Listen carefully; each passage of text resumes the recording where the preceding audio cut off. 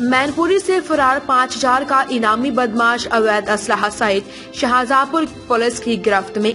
खबर विस्तार से उत्तर प्रदेश के जनपद शाहजहापुर उस समय पुलिस को सफलता हाथ लगी, जब मैनपुरी से पाँच हज़ार का वांछित इनामी बदमाश शाहजहापुर के जलालाबाद थाना क्षेत्र में पकड़ लिया गया।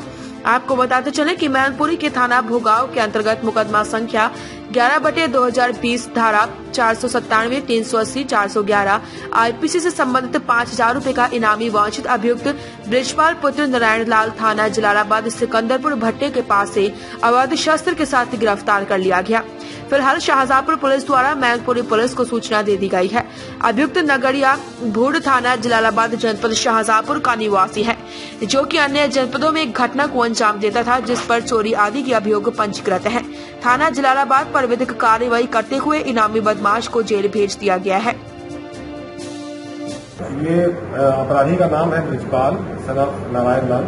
ये इसका गाँव है नगरिया भूड थाना जलालाबाद। ये एक छात्र नकबजन है और इसके और इसके साथियों द्वारा जनपद मैनपुरी में एक नगरजनी की सनसनीखेज घटना की है इसके लिए इसकी तलाश हो रही है मैनपुरी की पुलिस द्वारा यहाँ आके इसको सूचित भी किया गया और इसके ऊपर जनपद मैनपुरी से पाँच हज़ार का पुरस्कार पूर्व में घोषित था।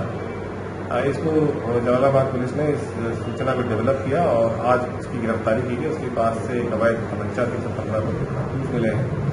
और इसको संगत धाराओं में इसके विरुद्ध अभियोग पंजीकृत कर लिया गया है। जनपद मैनपुरी की इसकी सूचना दे दी गई है। उस स्तर पर भी उनके द्वारा अग्रिम कार्रवाई की